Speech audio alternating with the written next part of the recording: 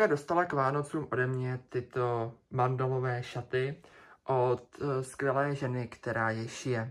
Pokud jste byli na výstavě pro radost v Otlovicích, tak víte, o kom mluvím a zápětí vám řeknu o této paní více. Ale když jsem tyto šaty objednával, tak jsem jí poprosil, zda by mě nemohla k tomu dát nějaké odstřižky látek.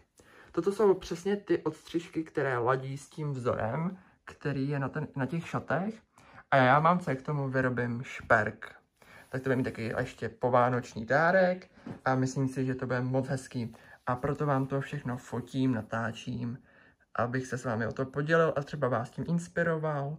Podívejte se, krásně to ladí. Tak já určitě z těchto odstřižků něco využiju a použiju je a vám ukáži, jak k těmto šatům mamce dodělám ještě originální šperk. Tak jdeme na to. Líbil jsem vám také na začátku videa, že vám ukáži, o kom je řeč. Je řeč právě o této šikovné ženě, která se jmenuje Renata Součková a šije krásné šaty. Měli jste tu možnost se s ní setkat právě u nás v Otlovicích na výstavě pro radost, kde byla oba dva dny, vlastně prodávala tam své šaty, měřila ženy, které si ji chtěly ty šaty koupit a objednat a já jsem právě i tam mamku nechal změřit a uh, nechal jsem jí tyto šaty právě ušít tam. A já vám chci ještě ukázat právě rychle její stránky. Jmenuje se to pro ženu, pro krásu a právě tady si můžete s Renčou domluvit ušití šatů a uvidíte, že si vyberete i vy. A tady vidíte, byla i u nás právě v Otvovicích a byla moc spokojená a my také, protože je neuvěřitelně milá. A pokud si kliknete na jejich stránkách na e-shop, tak si můžete i rovnou u ní šaty objednat. A pokud byste nechtěli platit za poštovné, tak si můžete nechat eh, přivízt do Otvovic, kde bude výstava pro radost opět na jaře. A tímto bych vás chtěl opět pozvat na výstavu pro radost do Otvovic. Je to dvoudenní akce a ta jarní bude v termínu 25. až 26. března 2023 v kulturním domě právě Lucky Bílý v Otvovicích a přijďte se kreativně naladit, něco si koupit, vytvořit, prostě užít si víkend se vším všude, jak se sluší a patří. A jak už jsem zmiňoval, tak si tam budete moci právě zakoupit šaty Renčej nebo si je nechat právě přivízt tam a udělat si tak radost i po Vánocích, protože radost to se má dělat pořád. Tak doufám, že jsem vás trošku inspiroval, navnadil a nalákal a teď už se jdeme pustit společně do tvoření. A co jsem si připravil na výrobu tohoto šperku? Tak, jak už jsem zmiňoval v úvodu, odstřižky té látky, která ladí právě s, tím, s těmi šaty, co mamka dostala k Vánocům. Mám tady různé odstřižky, co k tomu ladí, tak něco z toho vystříhám. A jako základ budou sloužit tyto dřevěná kolečka. Mám dvě velikosti, větší na náhrdelník a brož a menší na naušnice. Potom budete potřebovat nějaké komponenty, k tomu vám za chvilku ještě něco řeknu více. Naušnicové, na brož, nějaké korálky mezi to. A když jsem u korálků, tak ještě nějaké, nějaké barevné korálky. Samozřejmě kleště, obruč na krk, za co to zavěsíme, určitě malou hobby vrtačku, tavnou pistoli, nůžky, uho neboli takové to univerzální lepidlo na veškeré povrchy a kousek nějaké folie nebo tvrdšího papíru na podlepení ze zadní strany. No a co si připravíte vy, to je na vás, ale zatím jsem si připravil toto a uvidíme, co k tomu ještě dále využiju právě já. A ještě bych vám chtěla představit firmu Nubil.cz. Ti, kteří sledují pravidelně můj blog, tak už jistě víte, protože jsem právě s touto firmou navázal spolupráci a v jednom z návodů jsem vám ukázal, jak si vyrobit třeba takového to andělíčka z Nespresso kapslí, kam jsem právě použil nejrůznější polotovary a komponenty právě z tohoto suprového e-shopu. Jak už jsem zmiňoval, oni nabízejí velké množství, a to jak návlekových materiálů, tak nejrůznějších bižuterních komponentů, ale také i třeba nářadí, jako jsou právě kleště nejrůznější, ale také mají i skvělé korále. A to v různých barevných kombinacích, které jdou koupit jak jednotlivě, tak právě v těchto skvělých sadách. a mám doma nejrůznější odstíny a jsou skvělý. A také jsou dobré na cesty, pokud se rozhodnete někde tvořit, tak je můžete využít třeba právě cestou na nějakou dovolenou nebo na nějaké dovolené. Já vám během celého roku právě chci ukázat nejrůznější jednoduché nápady, co z toho budu tvořit já. A dnes vám ukážu první nápad, a to právě výrobu šperků k šatům, které mám k k Vánocům. Tak jdeme na to! A ještě bych vás chtěl v krátkosti pozvat na jejich e-shop, kde toho naleznete spoustu a spoustu. A uvidíte, že až si tento e-shop prohlídnete, tak budete všechno, co oni nabízejí, potřebovat a chtít, protože to mají krásné a mají velký výběr a to se při tvoření opravdu hodí. Já vám jenom tady chci ukázat, to jsou právě ty sady těch korálků, které mám i já a mám nejrůznější odstíny. Já už si přes, přesně nepamatuju, který mám, ale určitě mám, tady ty mám, potom mám asi ty fialový, zelený, modrý, no mám jich spoustu. Takže pokud i vy chcete takové nějaké sady mít a něco tvořit, tak určitě zavítejte právě na tento e-shop nubio.cz. Ještě poslední tip ode mě na Nubio. Teď jsem právě objevil tyto korálky z písmenky. Samozřejmě, já tyto korálky znám, ale znám je jako čtverečky, kde vlastně to písmenko je z každé strany. A tady ty jsou takové zakulacené, moc krásné, takže určitě ještě si objednám tyto a vytvořím s tím nějaké náramky právě pro své kamarádky, kamarády. Ono se to bude určitě hodit. Tak podívejte se na nubio.cz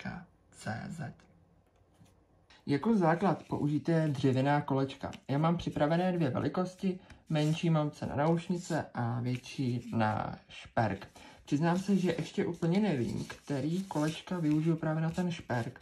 Jestli udělám jenom jeden, anebo jestli udělám takhle trojitej, to ještě úplně nevím, to jsem rozmyslím, ale ukážu vám, jak právě tyto kolečka zakryju s tou látkou. Musím si nejprve vybrat nějaký hezký vzor, který bych chtěl, aby byl na povrchu. Oni totiž ty látky jsou opravdu hezký a je složité si vybrat nějaký hezký, protože všechny jsou hezké. Možná právě tento modrý jeden bude. Vidíte, tady je uprostřed taková modrá mandala. Tak já si tu látku otočím. Potřebuji zhruba vědět, kde je ten střed. A tam si položím to jedno kolečko. A teď si vezmu tušku a vlastně si to lehce jenom naznačím, abych věděl, kde budu vystřihovat. Já samozřejmě ten kruh budu muset vystřihnout s nějakým větším okrajem, protože to budu ze zadní strany právě lepit stavnou pistolí. Obkresleno mám a teď to vystřihnu. Akorát se ještě podívám, jestli tam není nějaký vzor, který by se mi třeba hodil, abych do něj nestřihnul. Takže já budu stříhat vlastně z tohoto kraje. A obstřihnu si to.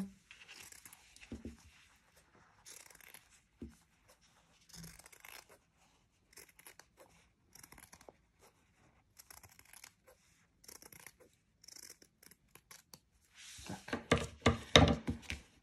Snad jsem to tr... No, i když... Hm. Tak jako jo, je to uprostřed. A teď musím zkusit, protože každá ta látka trošku jinak pruží. Tento materiál je v celku pružný, takže já nemůžu dělat úplně moc velký přesah, takže to ještě musím lehce sestřihnout. Určitě minimálně tohle všechno obstřihnu. A to z toho důvodu, aby zezadu nebyly vidět moc velké sklady té látky a ten šperk byl co nejlepší a nejrovnější.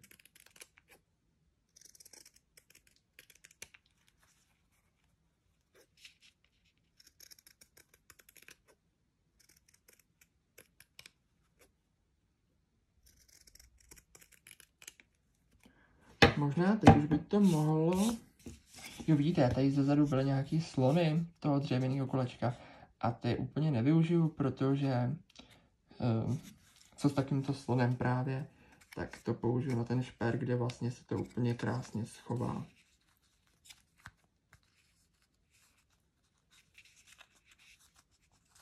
Jo, a teď to bude skvělý. Tak já si stejným při- způsobem připravím zbylý kousky látek na další kolečka. Všechny kolečka jsem si vystříhal a mám to připravené k lepení. A to vám také moc rád ukážu. Tak a jednotlivá kolečka už mám vystříhaná. Myslím si, že jsem vybral ty nejhezčí vzory, které na té látce byly a ještě mi jich dost těch látek zbylo, takže si to nechávám, třeba z toho ještě někdy něco vymyslím, třeba ne, ale určitě je schovám a kolečka mám teda připravená a teď už se stačí jenom pustit do lepení. A ještě než zakryju kolečka tou látkou, tak je dobré si do nich provrtat malou hobby vrtačkou, takhle malé otvory na provlečení poté těmi nejrůznějšími komponenty. Já na to používám tuto malou hobby vrtačku, vlastně už nevím, jaké je značky, protože my v Loskutákovi musíme mít všechny značky přelepené, ale myslím si, že ji koupíte asi v každém nějakém výtvarném obchodě nebo v hobby prodejně.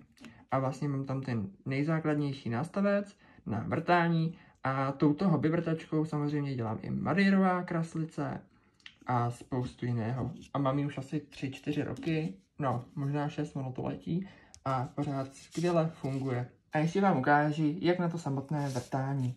Zvolte si místo, kde budete chtít mít dírku a až ji zapnu, tak mě neuslyšíte, ale vlastně jenom kolmo k tomu budu vrtat a jde to rychle. Tak jdeme na to.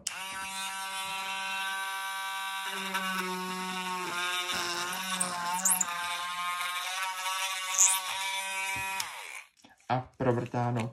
A takhle to udělám i se zbylýma kolečkama. Přichází na řadu lepení. Je to vlastně na tomto nejsložitější, ale uvidíte, že i tak to dobře zvládnete. Důležité je vlastně si to kolečko položit, položit tím vzorem, tak, jako budete chtít mít, aby bylo hezky ten vzor vidět na tom kolečku. Já si myslím, že jsem s tím takto spokojený. Teď to otočím, to kolečko, a vlastně přichází na řadu to lepení a lepím pomocí tavné pistole. Vlastně dám si sem trošku lepidla a tu jednu stranu vlastně přehnu. A snažím se to vlastně jakoby co nejvíc vypnout, tu látku. Chviličku podržím, než to lepidlo zaschne. Tak. A vlastně teď to samé udělám na té protilehlé straně. Takže vypnu tu látku, co to jen půjde. Dám trošku lepidla. Tak. A chviličku podržím. Dvě strany máme přilepené a teď nám zbývají další dvě strany. Takže opět trošku lepidla. Co nejvíc to půjde vypnout tu látku.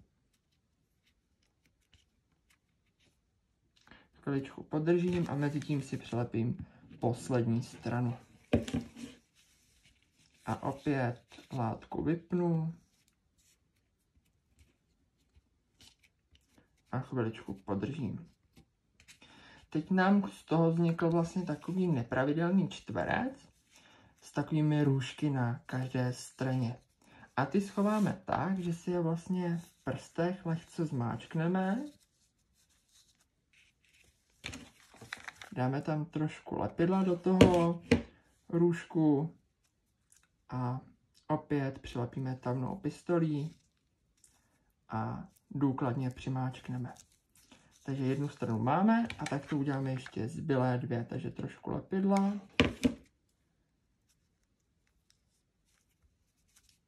A přilepíme.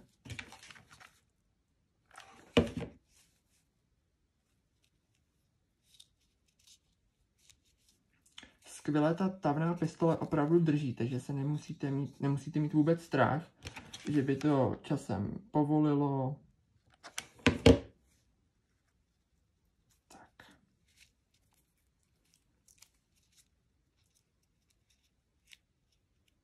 a máme přilepeno. Vidíte, a máme krásně pravidelné kolečko.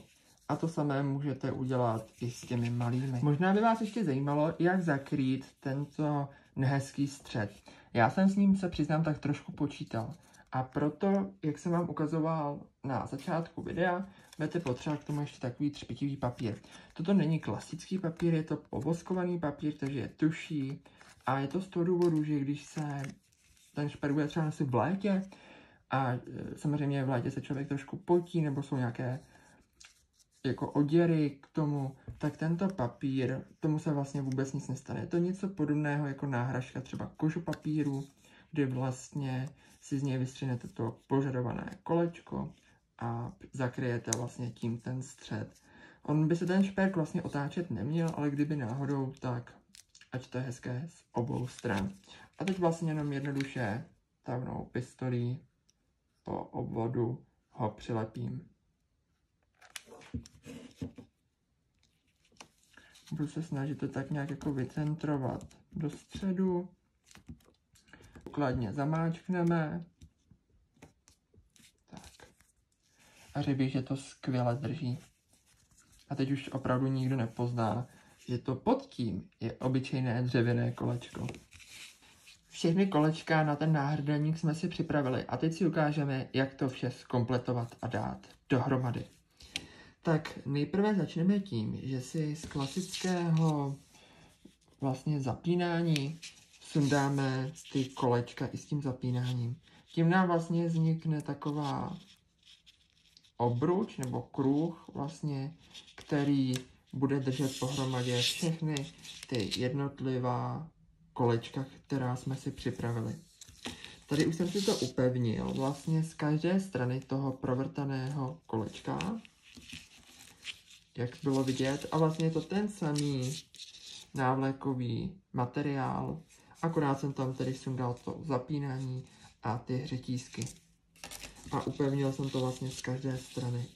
A poté jsem zkusil, jestli bude vrtačkou, provrtat ty otvory i do té látky, vlastně kdy ty kolečka jsou navlečená a přetažená tou látkou. Jde to úplně skvěle, takže jsem to provrtal ještě na dalších místech, aby s tím vznikl krásný šperk a propojil jsem to těmito komponenty. Jsou taky mandaly. Já sice už asi nemám stejný tady na ukázku, takže tady vidíte trošku jinačí. Tady jsem zvolil kulatý, a propojil jsem to kolečky. To, aby to dobře drželo a šperk se mamce neotáčel na krku a aby ani nikde neškrábal. A je to dostatečně dlouhý, takže tady není potřeba zapínání, protože mamka to jenom jednoduše přetáhne přes hlavu. Už jsem to zkoušel. Takže už mám nevyrobený šperk a teď ještě brož. Na brož použiju vlastně uh, jeden ten, jedno to kolečko, které mi zbylo, a z druhé strany pomocí tavné pistole a to daleko většího množství tam jenom vlastně přilepím tak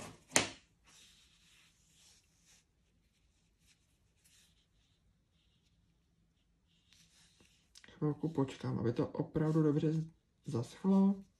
Lehce to přimáčknu. A vlastně mamka to může buď to připnout do hlavy, nebo třeba na kabelku, nebo jako brož, to ať si vymyslí, kam ona to bude chtít nosit a jak. A vlastně má to dva druhy zapínání, takže to si myslím, že je dobrý. Než zaschne lepidlo, tak já se po, pokusím odstranit z toho ty čárky, které se vždy z toho stáhnou a ještě se pustíme společně na dodělání naušnic. A ještě si ukážeme, jak na ty samotné naušnice. Uvidíte, že to není nic složitého. Jdeme na to. Tady jsem jednu už vyrobil, abych si to nejprve vyzkoušel sám pro sebe, abych si tady neušel na sebe takový bič a neudělal si ostudu. Vlastně to kolečko, které jste si provrtali, tak tam pomocí ketlovací jehly provlíkněte vlastně to očko a omotejte, aby ten drátek vlastně v tom otvoru dobře držel. Teď máte jistotu, že to z toho nevypadne. A udělali jsme to zároveň právě předtím, než tam budeme dávat tu látku, aby jsme to zakryli, aby to posléze nebylo vůbec vidět. Na tom náhrdelníku tam jsme to dělali předem, že jsme to pokryli a poté jsme si to vlastně těmi kolečky upevnili. A teď to bude vlastně úplně to samé, akorát si tu látku nejprve upevníme, a to jenom po bocích. Já musím jenom vycentrovat tu mandalu uprostřed, aby opravdu byla ve středu. A to asi bude tak. A přichází na řadu ta tavná pistole. Takže nejprve po bocích, já doufám, že to uvidíte, když tak si to trošičku posunu. Tak. A látku opět co nejvíce vypneme. A to samé na druhé straně. A teď se opravdu budu snažit, aby ta mandala... Jo, to ono to bude. To bude dobrý. Tak. Opět přilepíme. Teď vypadá trošku zdeformovaně, ale to je z toho důvodu, že je vlastně jakoby vypnutá jenom z obou stran a až to bude ze všech stran, tak bude krásně kulatá. A teď vlastně přichází na řadu to nejsložitější. A to je vlastně přetáhnout tu látku přes ten háček, přes ten otvor, a aby se vám to dobře propíšlo, tak je dobré si tu látku lehce, opravdu stačí jenom nepatrně, lehce prostřihnout. Tím pádem krásně zaplníte ten prostor, a ten kov tam nebude vůbec, ale vůbec vidět. Tak, ještě to vypnu z téhle strany a opět přilepím.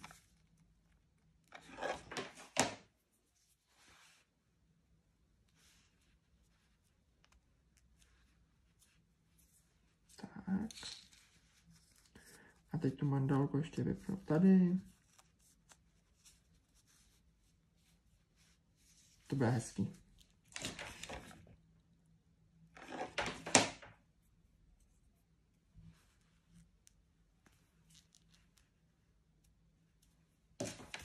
A ještě tady z té strany.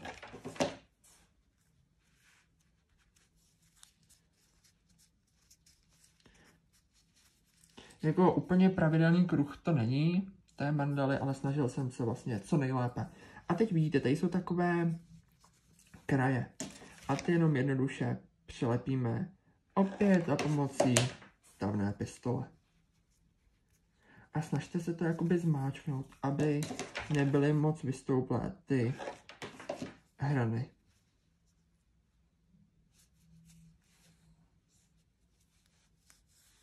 Tak a ještě poslední tři.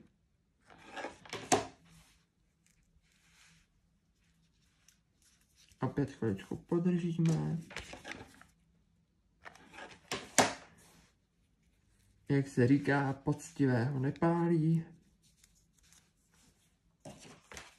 A poslední lepení.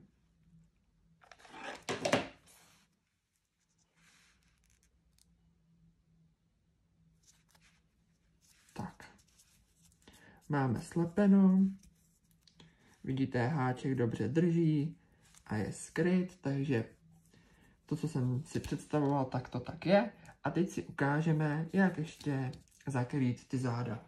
Já jsem si tady vyřezal takový kolečka, jedno je větší, jedno, jo, tak přesně naopak, to menší tam vlepím a krásně to zakryje ty záda toho nehezkého.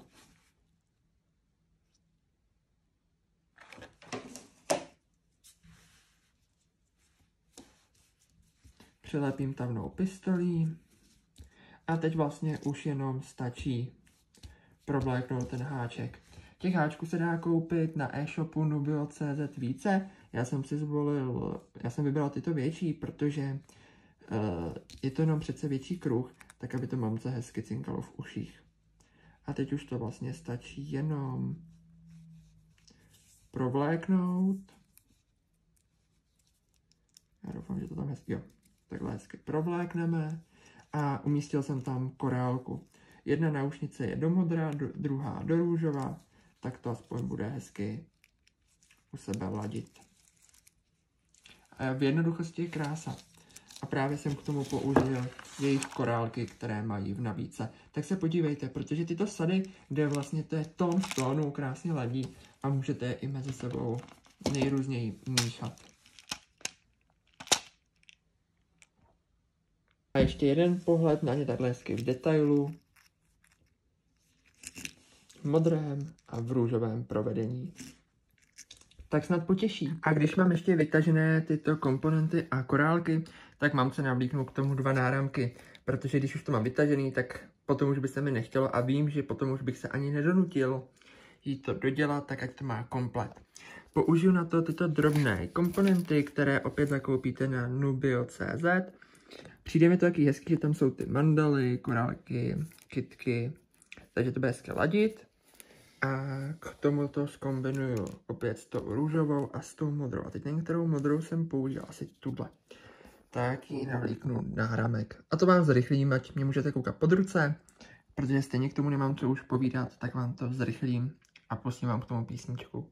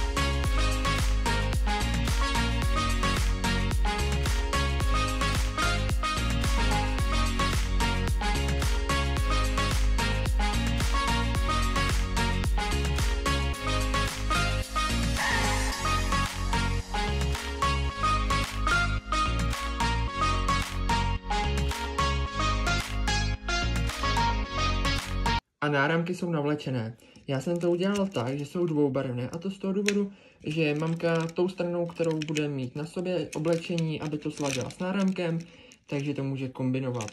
Tady to mít třeba viditelnou, tuhle mít pod rukou, anebo opačně. A to samé i v tomto případě.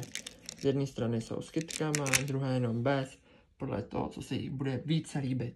A pohled na hotovou sadu takže jsem stihl mamce vyrobit náhrdelník, ušnice, brož a ještě k tomu náramky, tak to bude moc hezky ladit všechno k sobě. A ještě jeden pohled, a to přímo na šatech, které šila právě Renča Součková, tak podívejte se, najdete ten šperk, no skoro na tom zanikne, jak krásně s tím ladí. Takže já moc děkuji Renče za tyto šaty pro mou mamku i za zbytky látek. Krásně jsem to zužitkoval, využil a myslím si, že mamka bude mít krásné kousky do své skříně.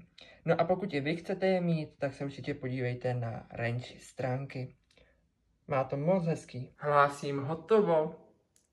A ještě vám to ukážu celý na mamce.